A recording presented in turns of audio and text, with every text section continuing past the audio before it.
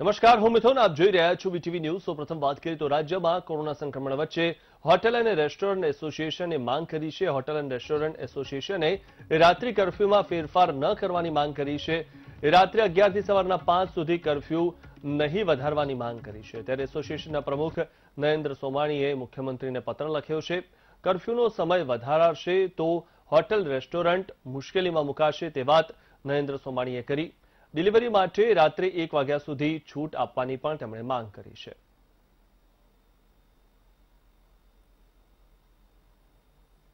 તમે જેમ બધા જાણો છો કે સોળથી અઢાર મહિનાથી રેસ્ટોરન્ટ વાળાઓ બિઝનેસથી વખૂટા રહ્યા.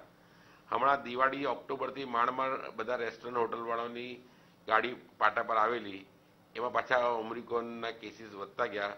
કોવિડના કેસીસ સો ટકા વધે છે. એ હકીકત વાત છે અને સરકાર પોતાનું કામ કરે એ બી હકીકત વાત છે. પણ રાત્રિ કર્ફ્યુ એનો નિકાલ નથી. સરકારે આની જોડે આની માટે બેસવું જોઈએ શાંતિથી, વેપારી જોડે બેસવું જોઈએ, ગુજરાત ચેમ્બર જોડે બેસવું જોઈએ. કે રાત્રિ કર્ફ્યુ એનો નિકાલ જરાય એક પર્સન્ટ બી નથી. માસ્ક પહેરવું સોશિયલ ડિસ્ટન્સિંગ કરવું, બીજી બધી વસ્તુ ધ્યાન રાખો વેક્સિનેશન વધારો કરવો, એ બધું.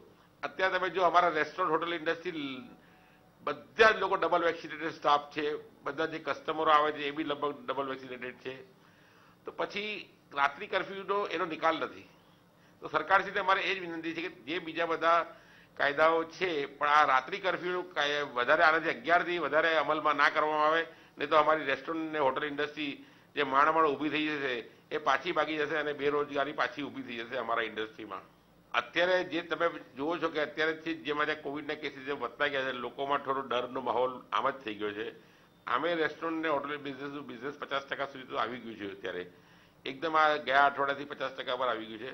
અને જો અત્યારે આ કર્ફ્યુનું ટાઈમિંગ રાતના વહેલા કરવામાં આવે, તો બિલકુલ ભાંગી જશે કે તમે જુઓ કે આજે નાના નાના રેસ્ટોરન્ટવાળા બધી જ લગભગ નેવું ટકા રેસ્ટોરન્ટો ભાડા પર હોય છે.